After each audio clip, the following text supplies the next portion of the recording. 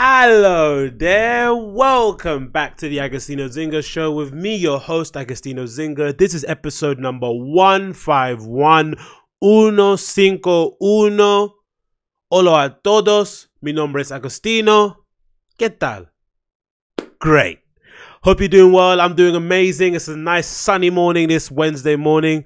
I have um, just come back from the gym as usual with my um, entire repertoire for the week.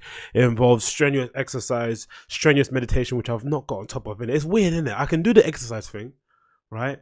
I found the eating thing not too difficult. Some some speed bumps here and there, but the meditation thing is just so hard to do. I think the longest I, I did um consecutive days was maybe 13 or 14 days when I was using Headspace. That's a guided meditation app that was probably the first on the scene. Now there's like a millions of apps out there. I think the big, the kind of like hip one nowadays people are using is a Calm. Um, there's another one called Oak by the same guy that's made Zero, the fasting app that I use. Um, there's Waking Up by Sam Harris. He has one. There's a few uh, meditation apps out there, but essentially they they work the same sort of way, right? You have like a guided meditation, like a person speaking that guides you through um, some breathing exercises, so you can kind of watch your breath and kind of think of nothing. But then you know, the irony of it is, as, as soon as a person's voice comes over, the voiceover like, oh, now open your eyes, right? You suddenly you know realize that you're listening to someone's voice and you're not in the moment anymore. But um, they do a good job regardless, right? Meditation is great. It's meant to be you're meant to get centered, meant to make you present. Um, but I was listening actually to a, a podcast interview yesterday. Um, Sam Harris has got a podcast. Um, now it's called Making Sense. It was called Waking Up. Now it's called Making Sense. Um, check it out on iTunes. Um, Sam Harris Making Sense, and he interviews the you know the legendary Stephen Fry, you know comedian, um, intellectual historian, you know the kind of all around kind of amazing good guy. And Stephen Fry is basically telling um, um, Sam Harris on the podcast that um, even though he's tried he's tried using his app and he's tried meditating, he still has reservations behind it. And one of the reservations behind meditation is that he feels like meditation is going to kind of blunt his sword. Like he feels like maybe the kind of anger and the frustration that he feels in his life is what kind of drives him to ask interesting questions, right? To think about things, to challenge ideas, and you know, to just to be the contrarian that he is. And he sometimes thinks that maybe meditating will kind of turning him to like a dullard, right? And um, I can some I can sympathize with that uh, somewhat because I do remember in the first fourteen or the first the fourteen days or so that I was meditating using Headspace, I did realize that I did start to um, um, I did start to notice how calm and and less frantic I was, right? And I'm always sure whether or not I liked it or not.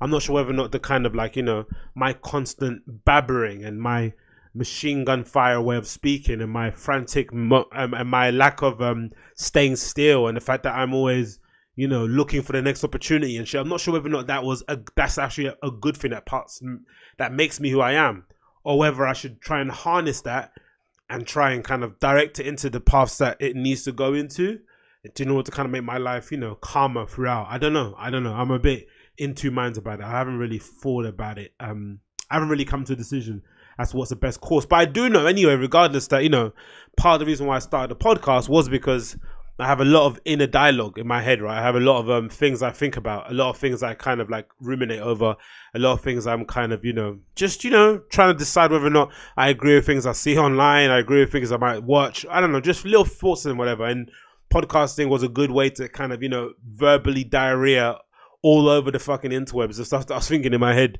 And so far, so good, man. I think, you know, especially since I've been keeping up the schedule of making sure that I do it quite regularly, I've kind of noticed a really big change in my overall um, mental clarity, my lack of anxiety. If I did have any, I don't think I did, to be honest. I'm not going to suddenly start saying I had mental health issues because I didn't. Um, but I've noticed, you know, by by and large, I'm I'm a fairly calm individual now. I don't necessarily get um, worried or panicked about things. I never did personally. Um, but I've kind of seen a big difference now since I've been doing a podcast regularly, and I'm not sure whether or not I should just do what some people do and kind of substitute one thing for the other. You know, people say, "Oh no, running is like meditating to me." Eh, no, it isn't. You know, meditating is meditating, running is running. Um, I'm not sure if I'm going to turn into one of those people that I hate, so I'm not going to try and do that. I'm going to try and um, I'm going to try and do it. To be honest, I'm I'm going to try. I'm going to try and do it. And maybe me saying I'm going to try to do it means I'm not going to do it, but I, I want to give it a go, man. I really do. I think it's going to really help me um, in my path going forward. anyway, um, that was a little short soliloquy that I just thought about now. I'm going to read you something because, you know, reading something is always really important, right? Reading little tidbits of stuff. And I've always found, and I don't know, throughout the years, I've had this for maybe, what, two years now, right? And I've read it dated every day since I've had it, right? The Daily Stoic by Ryan Holiday. This book right here, right? So, um, daily bits of wisdom that are going to take you through the day. And this one for January the 30th kind of stuck out to me, and I'm going to read out to you now. Um, it says you don't have to stay on top of everything. the quote on top says, "If you wish to improve, be content to appear clueless or stupid in extraneous matters. Don't wish to seem knowledgeable, and if some regard you as important, distrust yourself." Epictetus. I hundred percent agree. That's been my mo for like the longest time. Like I always, it always really, it always really um baffled me. I think especially when I entered the startup world I think that's when I started to kind of interact with loads of like pseudo intellectuals and loads of people that, you know, kind of acted like they know what they were talking about when they didn't really. Because I guess, you know, the very nature of startup land, um, you know, part of its problem, you know, the fact that, you know, it's Wild Wild West and anyone can just come in and set up camp and, you know, uh, start a company off a whim is also um, the good thing about it, right? Um, no, well, uh, sorry, the benefit of someone able to do that, come in with just some money, if long as you got some capital, right, and you can maybe secure a loan or two, you can you can buy some laptops, whatever, get yourself an office. You can basically start a company in a span of a week, maybe even less, right? That's a good thing. But the on the negative side of things, it it does invite like um you know chances into the arena. People who necessarily don't have any place um, trying to run a company or trying to do anything of that kind of ilk are now doing it. And um, in that arena, of course, you've got people that kind of have to just justify their position, justify their role, justify their salary. So they sometimes um, over, um, I don't know, how do you say, um, we'll say over guesstimate, but you know, they, they put uh, too much importance on what they know. And when in reality, I was always of the of the thinking that you should put more importance on stuff that you don't know, right? Be open to people uh, telling you things that you had no idea about. Um, I remember a lesson that my dad taught me a long time ago when I was a kid. I'm not sure why this came up or why he said it to me or why the occasion was. But I remember, I, think it might have been because when I was younger, I always used to say stuff like, "Oh yeah, I know, I know, I know, I know." I remember. I think it might be something to do with those kind of things, right? So someone's telling me a story, I'll be like, "Oh yeah, yeah, yeah, I heard about, it, I heard about, it, I heard about that," right? And I think my dad kind of got annoyed with it, and he told me once that um, the key to wisdom is to pretend like even the stuff that you know about, pretend you don't know about, and let the other person tell you. And then when I got older, I started to realize that doing that in a conversation really, um, um, if you're if you're if you're trying to like you know improve your persuasion skills or your networking skills, that's a great way of doing it, right? When you're meeting new people, instead of telling them who you are and what you do, ask questions. Um, be intrigued not like fake intrigue, like, oh yeah, oh, um, nodding, right? Actually genuinely fascinated. Oh wow. So you work at BT. Jesus, man. So um were you around when that big uh, data breach happened? How was it in the company? Was that something that affected you guys? I don't know the role, how long they've been there. Like, seem act genuinely interested. Like, try and be interested in what people have to say as opposed to what you have to say. Then what happens is that even even if you have a strong opinion, what it will do is that it will either reaffirm what you already think, or it will completely um, um, do away with the ideas you had previously, which is great because again, um, wisdom is kind of having some knowledge that you have, stored knowledge, and then when new information comes along, you can discard the old knowledge you have and take on the new knowledge. That's wisdom, right? We've, we've seen what wisdom doesn't look like, right? In politics nowadays, where someone makes a mistake or someone says something stupid, and instead of coming out and apologizing the normal way, they'll just double down on it, right? The whole doubling down thing has, you know, spurned has kind of come to fruition maybe in the last few years or so. I think so. Uh, maybe in media, maybe it was around before that. But we know we know that looks quite stupid, right? We know that quite looks quite foolhardily, right? You've obviously been proved wrong, and your ego is so big that you feel like you know you can't admit your mistakes, so you'd rather just double down or change the narrative in order not to make you look like you're wrong. But it's not about being wrong or right. It's you know life is a learning experience. We're we're constantly moving, we're constantly growing. If someone else comes along and tells you some new information, why not take it? It doesn't matter who it's coming from. Doesn't wanna. Doesn't even matter the intention really. I'd much rather be. Um, I'd much rather be. I'd much rather have the right information, have wrong information. That that's it. That being said, so my favorite phrase in conversation, especially in group conversations, like "Oh, really? I didn't know that. Oh, wow." Those are my favorite phrases. Like I don't start with my own stories. I don't get into that whole thing. If anything, the only place where I kind of falter and I kind of stumble a bit is when people start talking about holidays automatically like I start to kind of mention my things as well where I went. Um and it kind of turns into like a bit of a travel tennis match right? Oh I went there I went there I went there I went there I went there right? And you can get annoying. And we've all been in those kind of places in dinners um house parties where you know you bump into that kind of you know avid traveler person the person that's always talking about traveling is going to change your life. Like for you it did not for everyone right? Some people just don't care about traveling. So they're always kind of you know preaching and hypothesizing um about um, traveling it's kind of in a way in a weird like you know religious manner right um, the same way how people get annoyed with people that get born again um, you know recently in their kind of adult age and they start talking about christ every damn day we get it that you're passionate about it but maybe not everyone else has the same passion about it so um, i know what that looks like but i don't know what is about me when someone talks about it suddenly i want to maybe it's just the um, excitement, right? It makes me remember all the good times I had, right? And I kind of want to, oh yeah, I went there, I went there as well. And also sometimes I get the impression when you're talking to somebody that's the avid traveler person and they're giving you their big kind of soliloquy, their big story about where they went. I always sometimes feel like um like when they're telling you the story and you're just listening and just kind of being attentive and kind of, you know, really engrossed in their story and you're trying to, you know, um pay attention or whatever it may be and be present. I always get the impression that somehow in the back of their mind they're thinking, Oh, this guy's a loser. He hasn't been anywhere. Do you know I mean? It's like I don't know why. Again, that's me probably projecting and stuff, whatever. But that's something that's it's always in the back of my head. But um, yeah, that quote is something that I hold quite dear. Uh, don't pretend to know everything. I think that's the last bit. What it says here: If you wish to improve, be content to appear clueless or stupid in extraneous matters. Don't wish to seem knowledgeable. And if some regard you as important, distrust yourself, which is great, right? That's the that's what as well you saw. I I, I kind of saw um in the beginning the kind of contrast um in intros uh, Sam Harris with Stephen Fry. So Sam Harris interviews Stephen Fry, you know, an amazing dude who's kind of got, you know, a million different. He's kind of the real definition of of a polymath, right? A real definition of a Renaissance man. Something that I've kind of always hoped to be, right? A Renaissance man. Your expertise in, you know, um, cover a wide range of fields, right? Your your your talent here, here, here, here, here, here. You have output there, there, there, there, there. there. So Stephen Fry's probably the living embodiment of that. Sam Harris introduced him in the podcast. He says what stuff he does. He says he's amazing. He says, "Oh, how do you even? What do you even say your job is?" Like he's giving him the whole kind of big pat on the back speech, and then you know, um, Sam Stephen Fry basically to kind of you know summarize what he says. He's some something along the lines of, "Ah, I think the only reason why I do all these things is because I'm not talented at one thing. I'm a bit of a generalist." And like, do you know I mean? And then, and obviously, Sam Harris kind of laughs and says, "Oh, like you're being obviously awfully humble, right?" And I saw, and I thought it's funny because if you listen to other interviews with Sam Harris with other public intellectuals who are maybe American or what, let's say, whenever they int- get introduced in a really like convoluted way, like, oh my god, he did this, he did that, he won that, he won this, they always like, oh, thank you very much, I'm glad to be here. They accept that praise. It's a difference in culture, whereas I think Brits and maybe Europeans at best, we kind of we're a little bit shy. We shy away from it. Oh, you're amazing. You did that. You did this. Like, yeah, yeah, I know, but it's a team. It's a team game. I'm happy the team won. You don't want to put too much praise on yourself. But and I think sometimes it can come across a bit, you know, um, it can come across a bit a bit fake. But I think by and large, that mindset allows you to keep growing, right? The idea that you're not shit. The idea that, you know, you're only as good as your last work. The idea that your last work doesn't even matter, right? The idea that you're always growing. I think that actually allowed you to grow.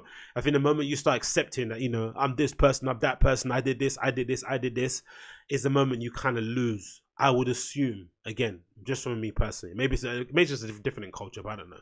But anyway, that being said, welcome back to the podcast. It's Wednesday morning. Um, just chilling, drinking water. Gonna go through some topics of stuff I've seen over the week.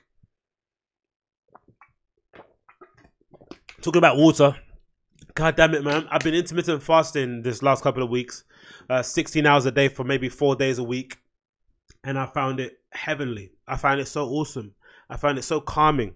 I found it so um, stress free. Um, I've never really been the biggest foodie in the world, right? I think I had my little period in the beginning of the, or maybe 2005, 2000, let's say 8 to 2010, right? Where I was kind of running around looking at food trucks and going to street food markets and shit.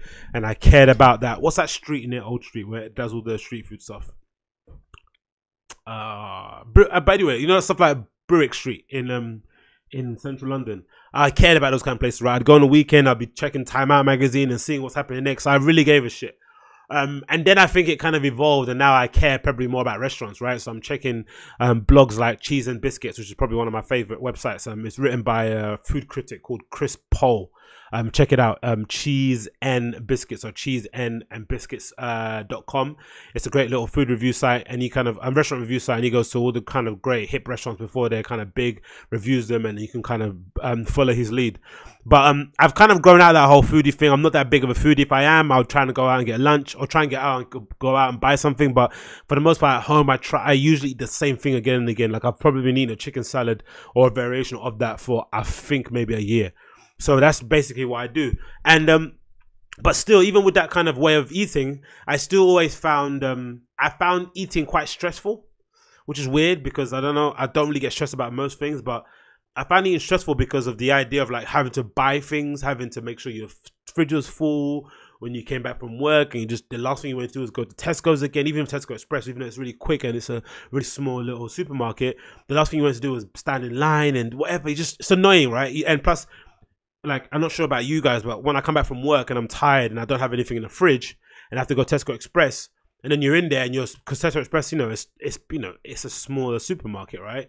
And it's priced like an off license basically. So you haven't you're spending much more money. You're spending a whole lot more money than you would do if you went to your regular supermarket to do your weekly shop. So you end up spending like I don't know, fifteen pounds on stuff that's only gonna last you three days. You're like, oh, do you know I mean? You're like just annoyed and it always caused me stress, right? The idea of having to eat and when I'm gonna eat, what I'm gonna eat, where I'm gonna go, blah blah blah. It just annoyed me. Like going to Pret and seeing all the options, just like made my head spin. So um, when I started working out and started getting into dieting and all that sort of stuff, even though um, the benefits of it was mostly to do with your, you know, your weight, what you look like, one of the things that really hit home to me, something that I really kind of um, treasured and thought, oh God, I'm so happy I found this, was the mental clarity, the peace of mind I had knowing I was um, training, I was dieting, and I was eating a certain way. It made life so much easier, honestly. Like I know for some people it's the opposite of that because you know uh, dieting and you know um, uh, intermittent fasting or working out is in some ways in some people they kind of categorize that as like a as like a punishment right? as like you're denying yourself certain things. But in my head, it kind of just freed it up. It kind of made me think, okay, like in, on on sometimes I remember in last year, not now. I'm being quite clean. Last year, I'll be like, oh, if I'm gonna eat this biscuit, I'm just gonna eat again for 16 hours. Like I'll decide then, right? So I'd kind of like fast then to kind of offset the benefits of the biscuit, of the the negatives of the biscuit, which obviously isn't a good idea. But it just allowed me to be much more calm with my eating, man. Like for now, I have like an eating window for instance, I'm probably gonna have my last meal maybe at like 3 p.m. later today when I go to work at lunch, right? And then um that'll be it. I won't have lunch again. I won't have anything to eat again the whole day, right? Um, and I just find that so calming, especially because especially if I've gone out or if I've had a good time, I went went to a party or something. The last thing I want to do is go to a party on my way home, then decide I want to eat something. I have to buy something on the way home at 9 or 10 p.m. And that's just not having a good idea having that sit in your stomach. And my life has been so much better for it and i really recommend it man. The mental clarity the boosting energy for, for the intermittent fasting has been amazing. Really really cool. Um, for the most part diet wise i'm following a pretty basic i think low carb diet. I'm not really eating carbs for the most part. I have like basically eggs and you know that's it for the morning chicken salad in for lunch, and then maybe um, or like a banana in the middle, like for lunchy kind of thing, and chicken salad um for lunch dinner, which is quite a big portion to be honest. And then that's it, and I just basically go to sleep. Um, I sleep really easy. I wake up super easy. And I just again, like I said, the boost in energy, the mental clarity has been something I can't recommend any more highly. So um, and then to track it, I'll use this app called Zero, which is an app I've been using for a while now and it helps you track all your kind of dieting stuff. So that's the app that I use there on the screen, Zero. Um, there's a guy called uh, Kevin Rose who makes this, and he's also the guy behind the app called Oak, which is a meditation app. So I recommend you check that out. But yeah, um, intermittent fasting for me has been amazing. I do 16 hours a day. Sometimes I can stretch it to 18 or 20, but for the most part, 16 has been pretty good for me, and I've got the results I've been I needed really for the most part. Um, yeah, recommend it. Anyways, um, onto the topics today. Number one, number one, number one, number one. So I've been um finished. I finished up reading or listening to the um. Wait, what is it doing this for? Stop. So I finished up read. I, I, I finished up um. What is it doing this for? I finished up listening to the the Leonardo da Vinci autobiography by Walter Isaacson. Walter Isaacson, if you're not familiar with him, is the guy that wrote the amazing, amazing, amazing autobiography on Steve Jobs. Just before he died, Steve Jobs reached out to Walter Isaacson because he's kind of famous for writing autobiographies. I think he wrote one on the former US president. I forgot the name of it, but he's famous for writing really great biographies. And Steve, Steve Jones, I mean Steve Jobs, reached out to him when he kind of got the diagnosis that he was going into remission, and he kind of um, through the I think maybe a process of maybe six months or something along those kind of lines. Um, Walter Isaacson and Steve Jobs kind of spoke, and Steve Jobs spoke quite candidly about his story, about his come up, and everything that happened to his family. Really, um, know some secrets that we'd had no idea about, about his kind of stepdad and all this sort of stuff, about so his biological dad. Loads of really amazing things. Um, and um, and uh, and now he's kind of followed it up with a, a autobiography on on, on uh, Leonardo da Vinci, right? One of the most kind of important um, contemporary, or no, important art figures, you know, in history. Let's let, let's say, right? And um, I think there's been a lot. There's been a lot said about docu series happening nowadays, right, on Netflix and stuff. I think the Ted Bundy uh, docu series now is getting a lot of hype, obviously. But um, I think the stuff that Walter Isaacson's been doing, especially with the Steve Jobs book, especially with this Leonardo da Vinci book, I'm surprised hasn't been um, adapted to screen. I think the Steve Jobs one maybe did with the movie by with that starred Michael Fassbender, but I'm sure it didn't get any good reviews. I'm not too sure what someone used. I don't know, but I really like to see um somebody adapt the Leonardo da Vinci book into some sort of docu series. The book's probably too long to you know to cover entirely, but front to back, but some of the things in it, man, about Leonardo da Vinci's life, like his upbringing, his upbringing, the way he looks at life, like his fascination with army generals and that kind of masculine image. He's kind of he's under ambiguity behind his sexuality. Um, the way he used to procrastinate so much, he never really finished things. Um, his tendency not to bend or you know uh, jump by the sound of his clients and stuff. Um, the fact that he only did portraits of people that he liked or he admired, like really amazing things. You just read about, it, you're like, fuck, man, this guy was truly awesome. Um, and then it, obviously lo- looking into it more, I kind of stumbled upon this amazing uh, portrait called the the Salvator Mundi. It's a depiction of Christ that Leonardo da Vinci uh, painted a long time ago, and it kind of you know it plays with so many things from perception to depth of field to the use of shadow and softness on the face. It's amazing portrait. I'm going to put it up here on the screen for you, or those of you watching it via YouTube. And it's an amazing sort of portrait of Christ. You might have seen it before. It's sort of like a portrait of Christ. He's holding up two hands. He's holding up a hand with two fingers pointed up, and he's got sort of like a clear globe in his in his in his uh, uh, palm of his hand and staring straight out. But the face is really softened. It sort of it looks like there's a permanent halo around his face, right, with a really dark background. And if you look closely at the ball itself, um, there's loads of plays on perception. You know, he kind of used it. It's, it's just a clever way of of, of, of, of painting. Um, so supposedly this painting itself went on auction the other day, and not the other day, but a while back, um, when in 2017, and sold for 450 million dollars. 450 million dollars it sold for. Insane, right? Uh, play a little video here from the New York Times that kind of talks about it. Um, hopefully this doesn't get me taken off YouTube, but let me play it here quickly. 70 million. See a bit of this. So this is in auction, right? this flipping video. 70 million back to Francois at 370 million. It's at Christie's. Oh. 450 million. Insane. How important art is, right, to, to humanity just. But that's like a, you know, money can't really buy that to be honest. 450 million is probably a bargain for what it is. I wonder who bought it. Was it a Russian oligarch or something along those kind of lines? But anyway, th- th- that's the footage from um, from Christie's or the sale of the auction. And um, this basically article basically says that potentially um, Walter Isaacson's book played a role in the kind of you know in the surge of its kind of uh, in the upsurge of the of the price of the actual piece of art itself, which I thought was quite interesting.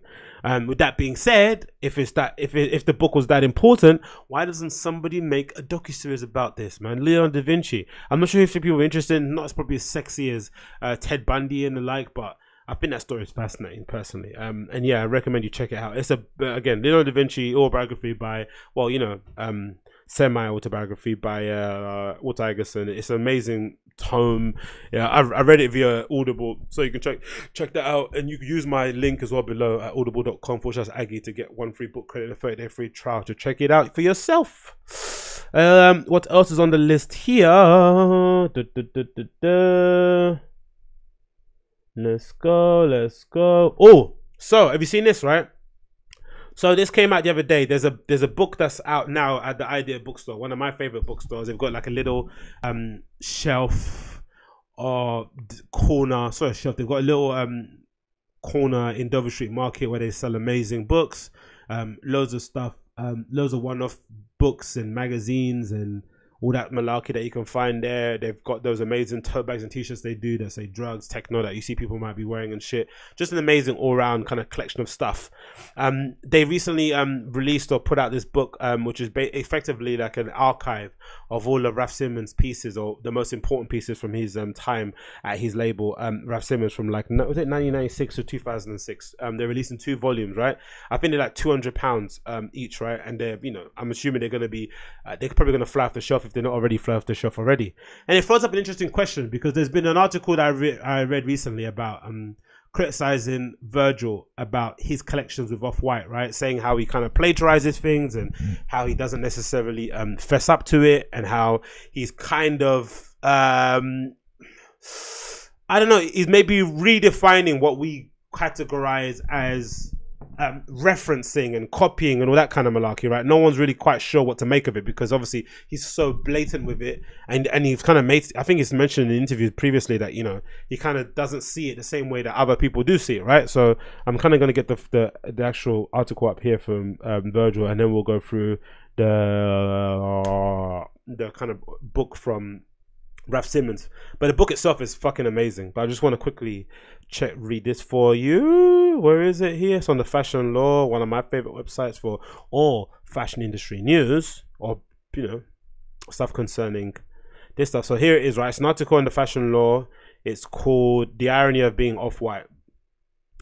Ba ba ba ba ba. I'll get up on here on the screen. So there you go. So this uh, so this article on the fashion law made me think about this Raf Simons book that came out recently. It's a Raf Simons tome. It's a Bible autobiography, um, or an, an, archive of all of Raf Simons' most important pieces that he made from 1996 to 2006 in two volumes, 200 pound. Boom, both uh, Gladys But this article on um, fashion law made me think about it. It's called um, "The Irony of Being Off White," and effectively, here's how it starts off in the beginning. Um, the article says, before the first model even stepped onto the lengthy Louis Vuitton runway on a sunny day in Paris last June to initiate the most anticipated show of the season, Virgil Abloh was already being accused of copying the white ceramic link uh, chains that he had teased ahead of his debut for the world's most luxury, valuable luxury brand. Looked a bit too much like the ones previously put forth by Tanya Henry's highly followed Louis, uh, Los Angeles jewelry brand. Just days prior, hordes of commentators of commenters uh, began flooding Abloh's Instagram to point out the similarities. Those same social media users were also quick to note that this was hardly the first time that Abloh had taken too much of inspiration from another designer, thereby making this part of a larger conversation, one that has compared the similarity of Virgil offering from his own label of white to those of Raf Simons, Pyer Moss, um, Grams, uh, Coles, Lucio Fontana, Ondler. Um, some of these names I have no idea who they are. Um, Angry Large, which probably a benefit for Virgil. Prada, Calvin Klein, Philip Lim, uh, Elisa van Joolen, Hel- Helen, Helly Hansen, Balenciaga, New Models, Nike, and many others. Fucking hell. Um, these are some of the names that have linked um, to the designs of Off White, creative director, and Louis Vuitton menswear director in recent seasons, and not in a collaborative way, but in an endless appropriation, as George, as Garage Magazine, Garage Magazine put it, um, a kind of way.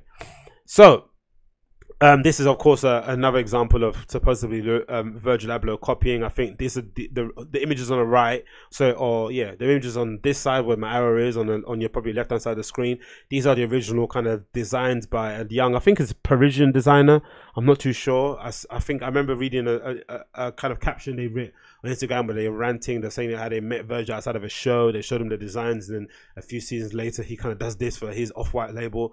Um, same sort of kind of motif, you know, yellow um, track pants with um, graffiti all over it. Um, so anyway, so that's basically the conversation going on here now, right? Virgil Abloh copies everyone, and he's he says it's referencing, and I think he mentions somewhere in this article the quote that he says. What he says it um da, da, da, hottest on planet. What do you say? He says something like referencing or something. What do you say? Is, is it referencing? Reference. Yeah, there we go. So uh here he says something along the lines of in his words, um Marshall du Marshall Duchamp is um yeah, so here it goes. So this is kind of Virgil's kind of um, rationalization for why he thinks that works well for him, right? So it says, um, "This is part of the status quo that is widely in widely in demand." Virgil and his um, band and his brand Off White, the latter of which is named the hottest on the planet uh, late last year by fashion search site um, Lyst. Um, yes, Abloh rather no- notoriously rejects the "who did it first mentality of previous generations in favor of copy and paste logic of the internet and its inhibitions, right? So his idea is that you know the idea that um you're you could um, do away with any kind of references, lock yourself in a room and come up with original ideas. Virgil kind of probably feels like nowadays with the access to the internet and how we're all hyper connected, it's kind of basically impossible to do that, right? If, if you're not referencing something, you're referencing something unconsciously, right? Something that you've maybe seen, you maybe touched. We're all kind of referencing things. So there's no difference between doing that than actually taking reference from things that you've seen previously, elevating in some way, giving them a little twist or whatever maybe, right? Going by his like 3% rule where he kind of tweaks things. That's his kind of rationale behind it. Um, and in the words of uh, 032C, uh, the Berlin based magazine, that's one of my favorites. Um, in his own words, Marshall, du- Marshall Duchamp is his lawyer, a reference to the late um, artist practice of taking already existing elements and elevating them as art. Uh, if you're familiar with Marcel Duchamp, he's familiar. He's the kind of legendary person who took the urinal and kind of elevated it and put it in the middle of a contemporary art museum, right? So, with that being said, he kind of thinks maybe compete isn't that big of a thing, right? On Virgil's case, but I looked at his book from the Idea Bookstore, and it kind of got me thinking, right, about uh what where is it? Where's the book? Where's the book? Where's the book? There you go. It kind of got me thinking about um you know copying and archiving all this sort of stuff just in terms of you know past designers because I think I think a lot of people have maybe seen of recent years that maybe Raf Simons is probably you know coming up to the not he's maybe running out of juice, maybe running out of spark right nowadays. Right, he's not as influential, he's maybe not as important to the kids as he was to maybe my generation or generation prior. He has still a loyal fan base of kids out there who will buy like archive bomber jackets and pieces and stuff like that for thousands and thousands of dollars. You see them going up on um, on Grailed or on other various kind of like um, vintage um, fashion Instagram pages all the time. But for the most part, the kind of kids nowadays want new, fresh energy, and maybe Raf Simons isn't necessarily talking to them or want to speak to them in general, right? He doesn't really have his finger on the pulse, which is where Balenciaga, Vetements, um, Gucci, all these kind of people, Virgil, Off White, and Louis Vuitton, that's where they kind of step in because they know kind of what the kids want. They can kind of do that easily. So, this is there something to be said for if Raf Simons is running out of juice, right? And he is kind of responsible for maybe playing a big role in what we see as modern menswear nowadays, right? Maybe reshaping what we think of streetwear is.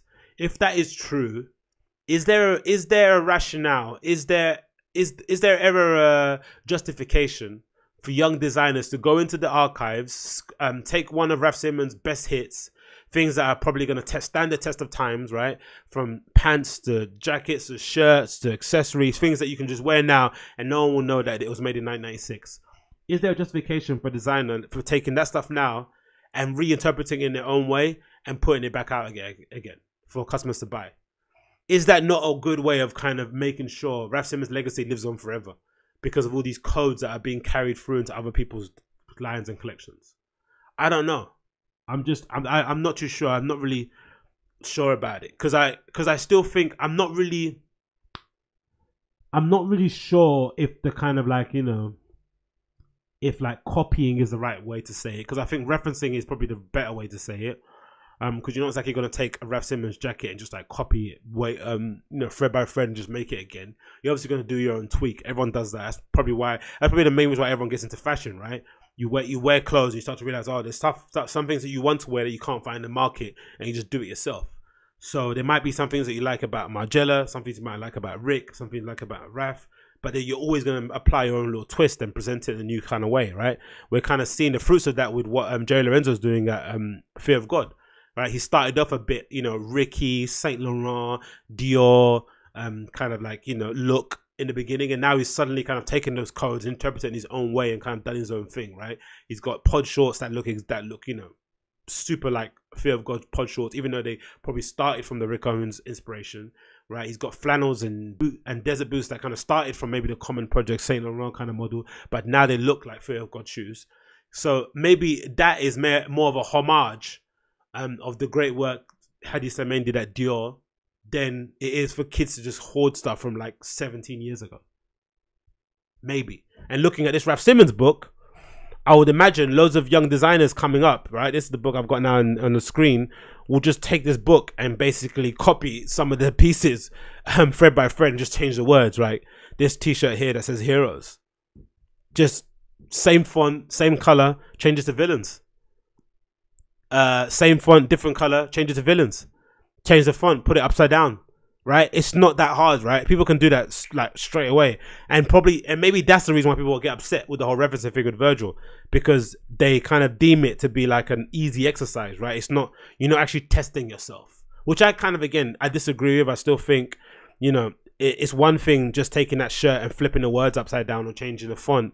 It's another thing being able to do it at the right time, get it to market, um, get um, get awareness for it, and also sell it um, and have it on people's backs. It's really, really a different thing. Um, yeah. Again, I'm not too sure because I think if I was a kid and I was coming up and I was, you know, enamored, because I think that's how we all start, yeah, isn't it? I know that's how I started. I started doing this podcast because I was listening to Barbell Buddha, um, Chris Moore, RIP from uh, Barbell Shrug doing his solo podcast, and I started listening to Bill Burr, I started listening to Joe Rogan, I started listening to Tim Ferriss, and that kind of got me started on my thing right? I know when I used to play football, I used to pretend I was Ronaldinho, right? And I wasn't. But you know, I'd hope that when I, if I'd got better at playing football, that I'd get my own style. We all start off doing that. We all start off kind of imitating somebody because we look up to them, we want to be like them, and then we suddenly kind of get in our own groove. I don't really think there's anything wrong with that personally. Um, so yeah, it just it just it just opens up an interesting question for me in terms of what referencing is, what referencing, what, what people deem referencing is.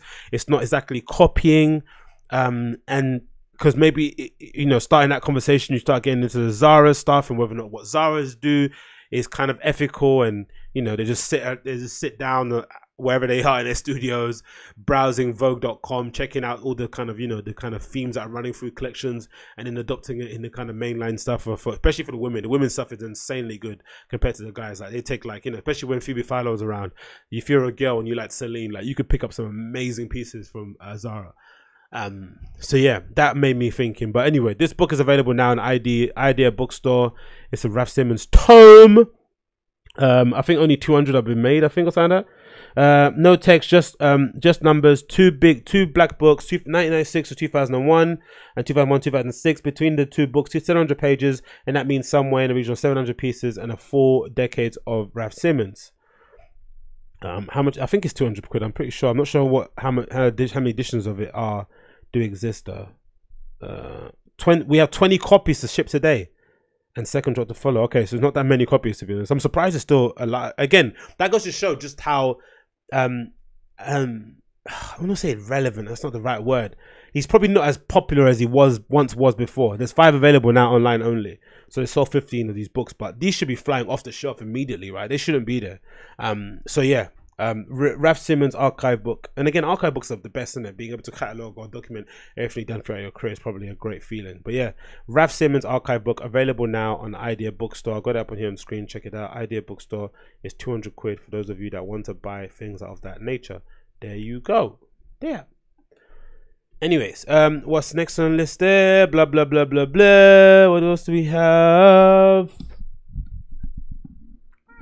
Yeah, uh, uh, uh, uh, uh, so weird. So there's this politician that recently got put into jail for something that doesn't really make no sense to me, and she's still an MP, which is fucking bizarre. So this lady, Fiona Onasanya, um, which is again, you don't really hear people getting put in jail because they um, run a red light or, or for you know going over the speed limit. But this is an interesting story. So an MP has become the first sitting member of Parliament in nearly three decades to be jailed after she lied to police over a speeding ticket. Solicitor Fiona Onasanya had denied being behind the wheel when her car was spotted dry, uh, being driven at 41 miles per hour in a 30 miles an hour zone in 2017. Is that it? She was 11 miles over. Um, Peterborough MP was thrown out of the Labour Party after being convicted of perverting the course of justice. She has been jailed for three months after a retrial. How do you get jailed for three months of being 11 miles an hour over the, the speed limit? The court heard evidence Osania was texting as well as speeding during the summer recess. Um, Osanya is the first um, sitting MP to be jailed since Terry Fields was sentenced to 60 days for failing to pay his poll tax. She has stated that she intends to appeal the con- against her. Her brother uh, Festus was jailed for 10 months for his involvement after pleading guilty of the same charge. How do you go into jail for 10 months because of because you went 10 miles? Whoa! Um, six weeks before the committed offense, she was ousted. Uh, um, as as as as he sentenced her, MP Mr. Justice said, um, "You have not you have not simply let yourself down. You have let down those who look up to you for inspiration. Your party, your profession, the Parliament. Her life as a new MP in 2002 was extremely hectic and chaotic, and she was just being diagnosed multiple sclerosis when police began to pursue her. She noted, the so if Osanya had been jailed for 12 months or more, parliamentary rules state that she would have automatically lost her seat, but she still keeps it, even though she goes to jail for three months. That's mad. With your jail term, however, she instead faced what's known as a recall petition. Under new rules introduced in 2015, it means residents can force a by election if the petition is signed by more than 10% of the Peterborough electorate. However, because Osanya has lodged an application to appeal against her conviction, the petition can't be opened until the process is complete. Once it's open, Jesus Christ. That is mad. Imagine speeding over 10, imagine uh, only speeding 10, over 10 miles an hour of the limit and you get put into prison for three months. Obviously, she probably won't do three. She might do half, right? Or maybe do a month on good behavior because I'm sure she probably doesn't have any prior convictions and stuff. But god damn it. Has been most of the story than me, so I don't know the details. I'm not gonna go into it. Not gonna, not gonna drop the race card but yeah, um, that doesn't seem that doesn't seem legit, does it? It doesn't seem legit to me. Um, but hey, ho, what do I know? Um, next on the list here. Geoffrey Owens SAG Award appearance. Yeah, this is a fucking great heartwarming story. Do you remember Geoffrey Owens, the guy that used to be on a Cosby show? Do you remember what happened to him last year? No. Okay, you don't care? I know, I understand. But so Geoffrey Owens is the guy who's been on the Cosby show. And um, you know, uh, since then his career hasn't necessarily gone as planned. He's kind of stepped out of acting. He's now kind of got a regular job doing, you know, just a regular smuggler job stuff. And um, I remember last year, you know, as one of the kind of byproducts of public shaming, because you know, public shaming kind of rose to pro- prominence um, in the last few years or so because you know people have felt like uh, celebrities or people in power haven't necessarily faced the same consequences that the average person on the street would for some of the heinous crimes they do. So, in a way to kind of rebalance, uh, uh, you know, put the scales back in balance of some sort, people have now begun public shaming or have been doing this since yesteryear, but now it's become more prevalent, especially in the internet age, in order to kind of get people to kind of um, face the consequence of the actions, right? And uh, Geoffrey Owens was kind of um, got the wrong end of the stick of this because he was, you know, he was on the Cosby Show. He was a big celebrity in his time and then you know life kind of you know life goes on. You can't you've kind of not you're not in the limelight anymore. You just go on doing your regular regular life right? And you kind of started working at trader joe's like a, a regular kind of supermarket in america. And um, somebody a shopper in trader joe's saw him and recognized who he was and recorded a video of him kind of bagging up groceries and kind of put it out on on Twitter. Now, to be fair to the lady that did it, it did, it didn't seem malicious. It didn't seem like she was saying, "Oh my god, look at this celebrity, he's so sad. He's now working a regular job." Right? I didn't think she was job shaming him. I think her intention of sharing it was more along the lines of like, "Oh shit, you never guess who's bagging up my groceries, right?" Of course, it's still tasteless. Of course, you shouldn't be recording people at their job, just doing their minding their own business. He, he's been working there for I think a while, and no one really said anything. Like everyone comes understanding, you know, be respectful, give people give have, have let them have dignity in their role. And it kind of got out on social, and luckily, I was happy to see that people on social didn't react well to it. Right? They were like, "Oh, this woman's a bitch. Why'd she do that? That's disgusting." And um, um, everyone's kind of vilifying her for job shaming, even though she probably didn't job shame. And and, and Geoffrey Owens also stepped up and kind of spoke quite well about the kind of pride he has in having a job and how he's able to provide for his family and how you know he was once an actor but now that thing's over and he's living his regular life. Like just you know regular regular shit. And it seemed quite cool. It seemed like a really good response. But um so far the kind of you know the acting world the entertainment world has been quite gracious with him and kind of re-embraced him or in, involved him back into the embrace even if it might be only temporary but it's great to see him back again in that kind of Hollywood glow. And he was at recently at the SAG Awards. Um I think SAG is like the representation body for most actresses I think in Hollywood and shit um, so he was there, um, and he kind of got, um, he kind of got, I think he got announced or something on the on the stage. To put a quickly video here, if you guys can see. Listen to this quickly. Boom, boom, boom. So I think he got acknowledged at SAG Awards, right? And this is quite nice to see, actually. Hello. Hi. Uh, what I'm about to tell you is a true story. I was born in Canada, a country that heavily, yeah, right? um, a country that heavily subsidizes their arts. When I was 17, the Canadian government had me fill out a vocational training test to see what it is that I should do for a living once I graduated high school. I sent it to Ottawa, and two weeks later, the Canadian government determined that I should be a movie star. Absolutely true. I am the specter of big government. My name is Mike Myers, and I am an actor. Awesome. They let Geoffrey Owens get highlights. That's awesome, man. Really cool, right? So they let him get a little speech into. So, somewhere in the middle of the road of my life, I found myself in the dark wood of unemployment and debt. But instead of switching careers like a sane person, I took a job at a local Trader Joe's to see if I could hang in there with my career. Awesome. And um, it's actually worked out pretty well. I'm Geoffrey Owens, and I am an actor. That is so cool, no? Right? So that's amazing. So they allowed him to give like a little monologue at the beginning, um, and it's a really heartwarming story. It actually makes me want to cry, man. I'm I'm really getting emotional about this, actually, man. It's just cool because you know sometimes you know. I don't know why it is. People like humility um, when it comes to people that have, you know, um, that have fame or have notoriety or that are well known. There's lack of humility that we have because I don't know why. Because I don't know why it is. It's probably a, human uh, precognition, precognition, whatever it is, it's probably something um, that's deep inside of our core.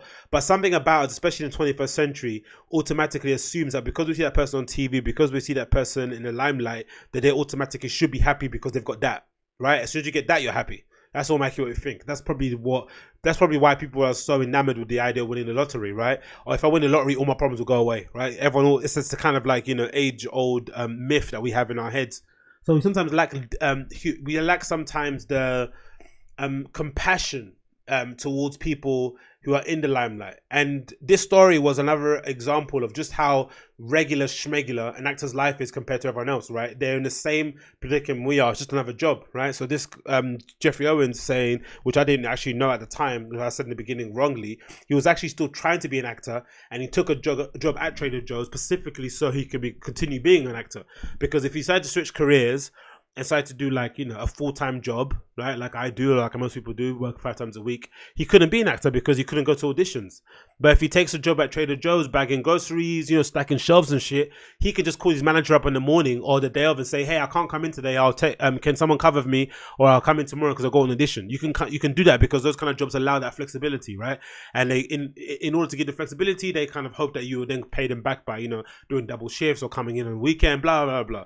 So that's the reason why he did that role and did that thing in the first place. And there's something really um, admirable about having that level of um, humility, grace, dignity in accepting that all I need is money.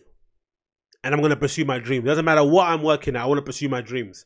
But in the pursuit of your dreams, even still, still, you're still working on at shows, whatever. You have to imagine you're still having to work that Trader Joe's job because you know most acting gigs, even one that I did when I did a little bit of an extra work, um, your check doesn't come in for another six months. I'm sorry, another six weeks sometimes, right?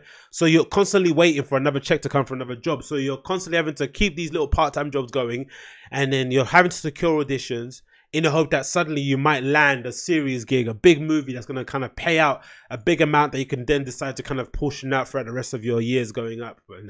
But I just think it's an amazing story about having pride in your work that you do and also being humble enough to understand that what you do doesn't define you, man. It doesn't define you. So what? I'm bagging groceries at, at Trader Joe's. Even if he wasn't trying to pursue be an actor and he was just doing that to feed his family and to keep a roof over his kids, that's still amazing because at the end of the day, when Christmas comes around, he's gonna be able to buy his children gifts. He's gonna be able to take his his wife out to dinner on, on fucking Valentine's Day, and that's essentially what we all want to do. We don't want that much, right? We want to be able to buy um, Gears of War when it comes out new. We want to be able to buy that new pair of trainer. We want to be able to go to a, a, festival. That's all we want for the most part. It doesn't really matter what the means are. It doesn't really matter what, what you're doing. There's no need to job shame. It's not as if like some of us or most of us have the jobs of our dreams. Most of us are only working in position because we need to work in order to kind of keep our bellies full and keep a roof over our heads, right? And actresses, celebrities, athletes, entertainers, they're the same as us they just happen to work in an industry that's maybe on TV, right? Um, that's it for the most part. They're exactly the same as us, and you know they have the same trials and tribulations that we do. Sometimes even even worse because imagine being an actor and actress, you're consistently having to have you're consistently having to impress people in order to get jobs. You're consistently having to sell yourself, consistently having to be like smiley, jumping around, performing all the time just to get jobs. That's that's you. Every day is a gatekeeper day. So I think it's amazing, man. It's really good to see Geoffrey Owens in that good spirits. It's great to see SAG welcome him back into um, open open arms. Again, if nothing transpires of this and he doesn't get any roles or he's just welcomed back in and he's somehow given a kind of I don't know, they kind of what they give patron, but you know, I don't know, he's kind of supported in some way. That would be cool regardless. Or he does um um I don't know, um classes for kids and stuff coming up. That'll be awesome as well. I'm just happy to see it.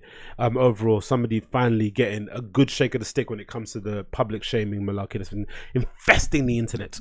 Um, blah blah blah blah blah. Where is it here? I said, oh, did I put my hoodie here? Where is it? Oh no, I thought I had it on there, but I don't. Do I not? Oh yeah. So talk about um Talk about public shaming. A great little video came out the other day. Actually, I saw on on YouTube. A great little documentary made by uh, this guy called. Uh, so stop it. It's from a YouTube channel called I think Coffee Break.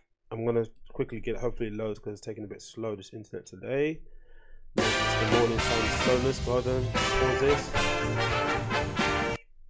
Cool. So it's uh, called Public Shaming. It's from a channel called Coffee Break. I'm going to quickly play a bit of it now. And then I'm going to quickly talk about what this kind of like going off the back of the stuff that's happened with Geoffrey Owens, right? Da-da-da, show a little bit there. Let's play.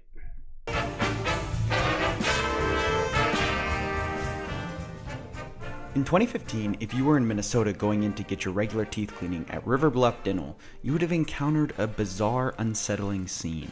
These are just some of the signs that vandalized an abandoned dentist's office. The reason? Walter Palmer, a dentist working there, had gotten into deep trouble for trophy hunting in Africa. But Walter's problem wasn't with the law.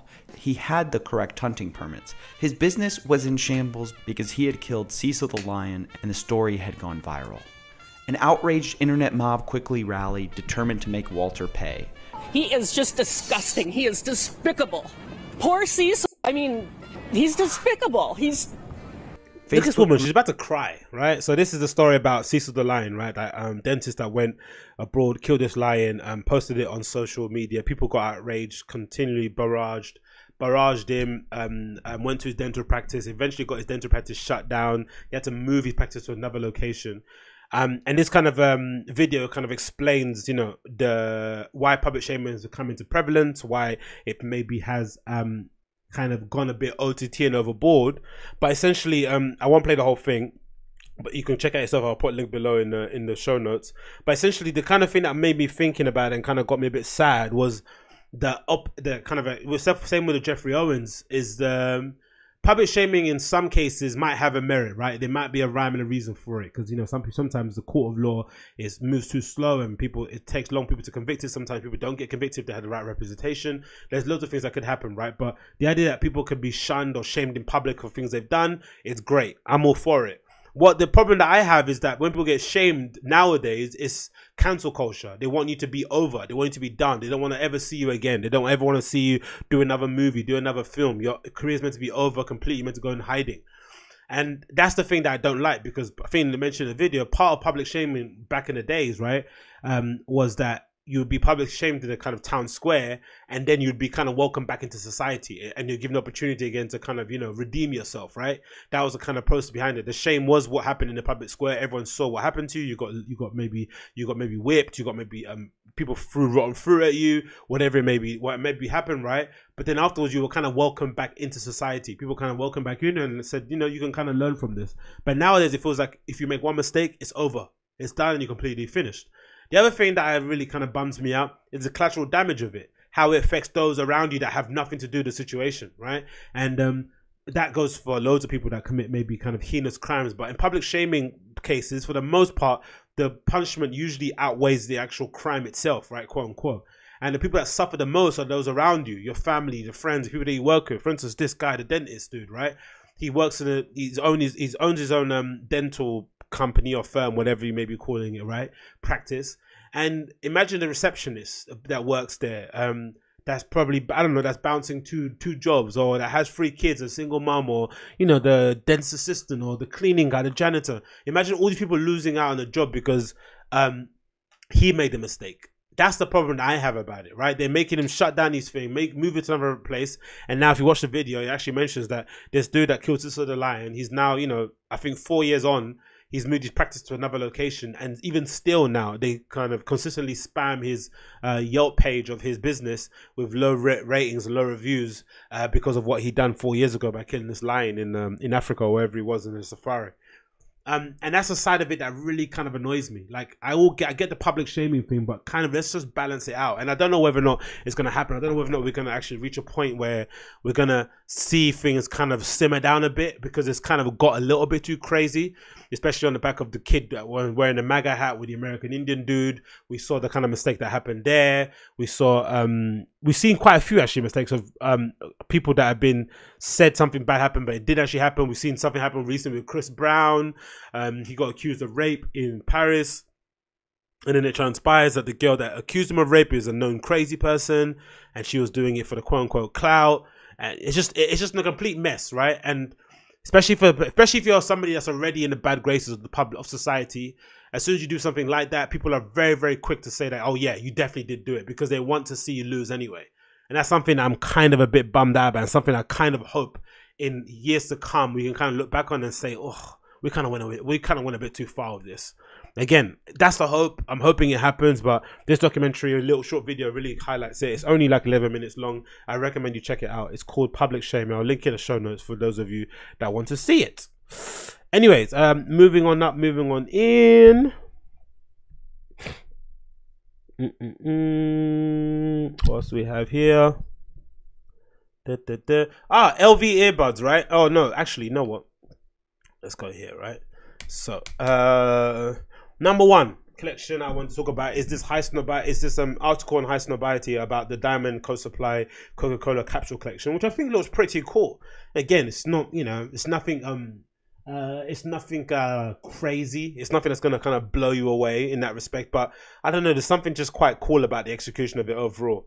Um, I'm not sure what it's promoting or what it may be, but let's just quickly um, check this out on the page. So there's this collaboration happening now with Diamond Co Supply, um, famous for the Tiffany Dunk, uh, founded by uh, Nick Tershay, um, famous for you know starting off being a kind of skateboard hardware company, and then they kind of went into streetwear, rose to prominence during the whole um, LA Fairfax um, era of streetwear with Ben Hundreds and Bobby Hundreds and all those kind of guys, right? Um, so uh, Diamond Co Supply doing a collaboration with Coca Cola, and they're dropping a Coke White collaboration, right? And I'm not sure if they're actually part of actually a line, but it says here editor's notes. It says on this Highsnobiety article, um, the Diamond Co Supply, uh, cheekily named Coke White Capsule Collection, is a collaboration with Coca Cola, naturally consists of clean white pieces.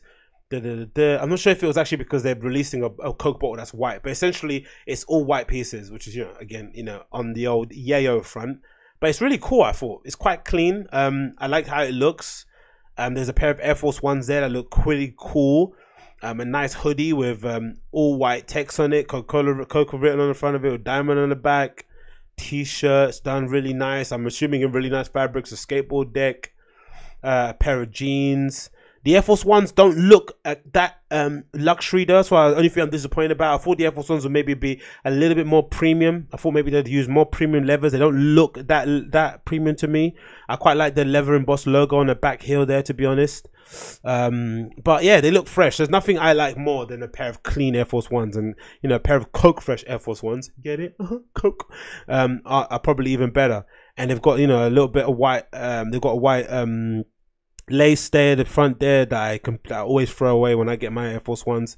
But all in all, I think it's a pretty fresh collection, man. I quite like the look of it. I'm liking what Nick is doing with Diamond Supply now at the moment. I'm sure they still do their regular brand, right? Remember, remember how popular that Diamond um, Supply T-shirt was, the Diamond Co Supply hoodie. That was like our box logo back in the day, man.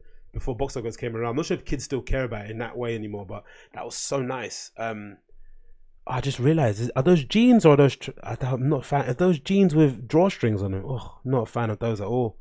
I hate drawstring jeans, man. Drawstring jeans and cuff pants are one of my are one of my kind of like you know um, no nos when it comes to clothing. But it looks pretty cool. I like it overall. A coat collection by um, Diamond Co Supply. Check it out. Um, when's it coming out here? Let's get a bit of dates on there for those of you that like shopping. It's coming out January 27th. So it's already released a couple of days ago. Um, January 27th. Diamond Co Supply collaboration with Coca Cola. Da, da, da, da, da. Next on the list here, we've got these fucking shitty LV earbuds. I don't understand what the fuck's going on with these Louis Vuitton earbuds, right? I don't know. Someone needs to tell me what I've missed out on. There's this video I'm gonna play now of uh, Lil Yachty talking about them, right? And I, again, I just don't know what's happening. I don't know if I've missed a boat. I don't know if I'm getting old. I don't know if I'm just not involved or I'm not hip enough. I don't know what the hell's going on with this. Um, I'm gonna quickly show you this video and then we're gonna quickly talk about this. Um, I don't know what the fuck is happening. I don't know. I don't know. I don't know. I don't know. I don't know. Let me quickly get this on there. Da, da, da. Multi-channel device.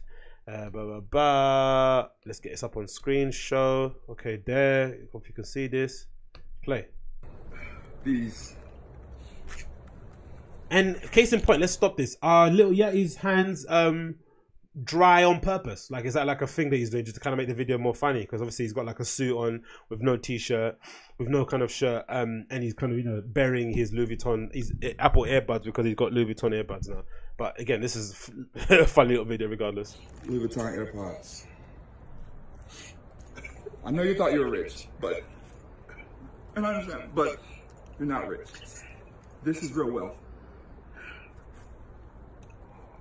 Real wealth. Your AirPods today. I don't honestly. I don't get the hype. Uh, Maybe uh, I, I think it's Black Twitter did a good job with Apple Air, with AirPods.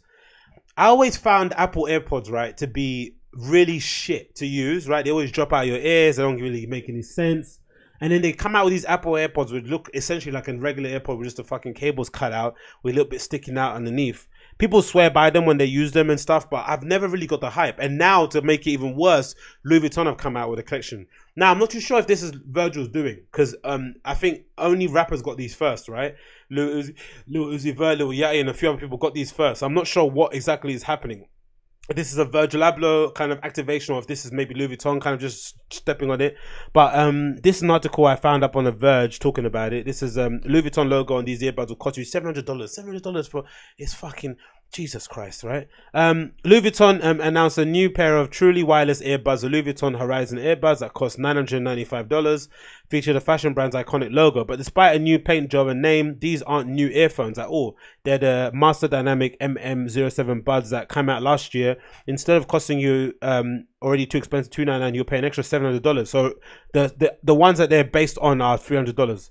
Master Dynamic have already uh, have uh, was already angling for the high fashion end of the market by adding things like asymmetrical design and conventional colors that were meant to help the MW7 um earbuds stand out. So a Louis Vuitton collaboration makes sense. In his review, my colleagues my colleague Stefan Eaton noted that the MW7s were comfortable and sounded good, but they simply weren't worth three hundred dollars uh, price tag since there's so many cheaper ones on the on the option, of course, from you know from the Apple AirPods which are one sixty dollars to the Jabra Elite which are one seventy, and you got other stuff like the um, the Jaybirds and all those kind of malarkeys they make them. Aside from the Louis Vuitton style, their uh, Horizon earphones appear to virtually identical to MW7. Louis Vuitton appears to be selling these three different colorways of the Horizon earbuds.